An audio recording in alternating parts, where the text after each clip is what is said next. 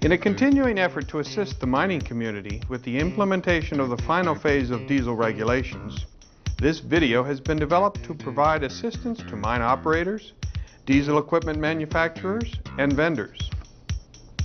As of November 25, 1999, there will be new requirements for the approval of diesel engines and other components used in underground coal mines.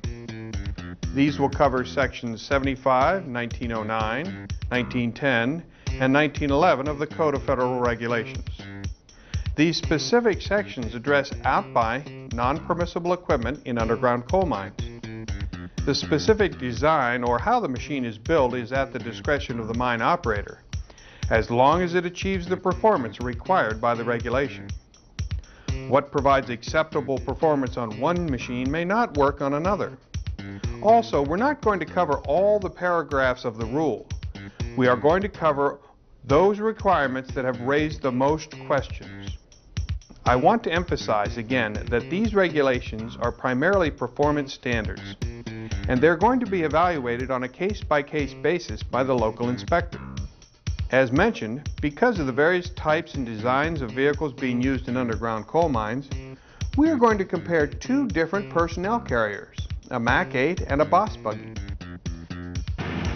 Unlike Dodge, Ford, Isuzu, and Chevy, which meet the Department of Transportation and the Society of Automotive Engineers wiring standards, these two vehicles have been fabricated and therefore must meet the requirements of the 1968 National Electric Code. These vehicles will be required, as are all diesel-powered equipment, to have an approved engine. The approved engine will also have to have an air filter that is sized in accordance with the engine manufacturer. The air filter is required to have a service indicator set in accordance with the manufacturer. These fuel lines are original engine manufacturer, or OEM parts. What's important is to watch for leaks on all the fittings. Also, fuel lines must be separated from electrical wiring and protected from damage in ordinary use. The orange protective sleeves covering the fuel line need to be extended to cover the fittings to prevent any spray or leakage of diesel fuel from the lines to the fuel filter or separator. As we move to the battery compartment of the Mack 8, a circuit interrupting device is installed as close as practicable between the ungrounded, usually the positive lead, of the battery and the charging generator.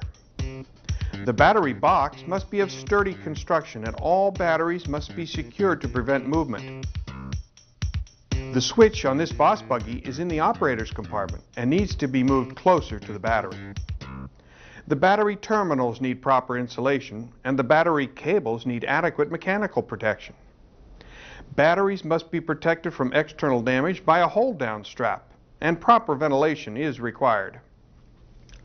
The new regulation will require each ungrounded conductor to have an insulation compatible with the impressed voltage. These connectors need to be insulated. The insulation materials must be resistant to deterioration from engine heat and oil. Ungrounded connectors do not need to be insulated if they are enclosed in a box that contains only electrical components, such as this fuse box. Where electrical components are not totally enclosed, as in this dashboard, the connectors are required to be insulated.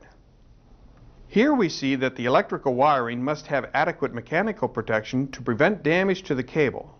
But in addition to mechanical protection, wiring must be separated from sharp edges and corners where there's a possibility of damaging the wires and cables. The regulation requires a means to prevent the spray from ruptured hydraulic and lubricating oil lines from being ignited by contact with the engine exhaust system component surfaces, such as the exhaust manifold and exhaust pipe. The hydraulic lines have been covered with a flexible rubber conduit. This conduit needs to be extended to cover the fittings to provide protection if the fittings leak. Additional protection such as a ceramic coating or a jacket on the exhaust manifold or exhaust pipe or flame-resistant sleeves on the hydraulic hoses should be used. Adequate guarding to protect fuel, hydraulic, and electric lines when such lines fasten near rotating parts such as belts is required. Here, guarding must be provided to protect the hydraulic lines that go to the power steering unit, where they pass near the fan belts. Reflectors or warning lights mounted on equipment, which can easily be seen in all directions, is also a new requirement. Equipment must have headlights, and these OEM headlights must be maintained. The fuel tank must be substantially constructed and protected against damage by collision, and it must have a vent opening that maintains atmospheric pressure in the fuel tank. A self-closing cap on the fuel tank must also be used. As shown here, the required manual shutoff valve is installed as close as practicable to the fuel tank. Hydraulic tanks, fillers, vents, and lines must be located to prevent spillage or leaks from contacting hot surfaces. The new rule requires a multi-purpose dry chemical type ABC fire suppression system that's listed or approved. Fire suppression must cover the engine, the starter, the transmission, and hydraulic pumps and tanks. It must also cover fuel tanks, exposed brake units, air compressors, and battery areas. Fire suppression nozzles must be protected against the entrance of foreign materials such as mud, coal dust, or rock dust. Discharge nozzles shall be positioned and aimed for maximum fire suppression effectiveness. To achieve this, it is highly recommended that a fire risk analysis be done on each vehicle to determine the optimum design and location of each system to provide necessary coverage. If you'll notice here, there's a shield which is preventing the nozzle from spraying onto the hydraulic system.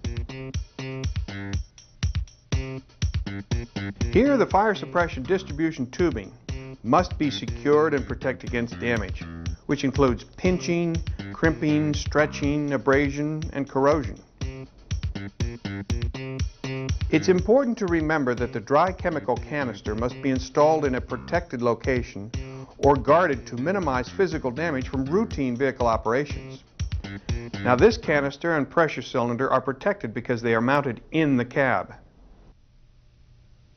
Each diesel-powered machine will be required to have at least one 10A 60 BC fire extinguisher. The fire extinguisher must be located in easy reach of the operator, and it must be protected from damage.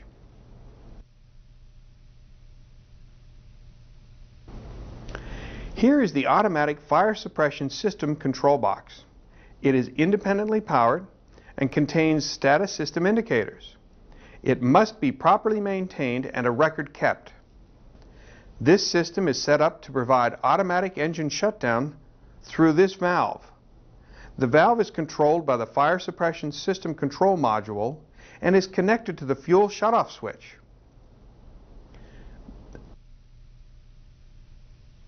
The manual fire suppression system actuator is within easy access of the operator. The regulation now requires an audible warning device located near the equipment operator. Disc brakes are considered to be exposed brakes and therefore need fire suppression coverage. Service brakes must act on each wheel and must not result in a complete loss of braking capability. Notice here the cotter pin is missing and all braking capability could potentially be lost. The rear parking brakes are spring-applied pressure release. And the front brakes are hydraulically controlled. As mentioned earlier, no two machine designs are identical. The design of diesel-powered equipment varies. Therefore, it is necessary to evaluate each machine for overall compliance. Now we hope this video has provided you with the guidance needed to comply with the regulations.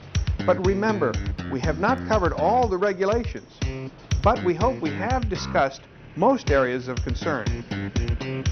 Upon request, MSHA will continue to assist with the evaluation of diesel-powered equipment. We will continue to keep you updated through MSHA's homepage at www.msha.gov.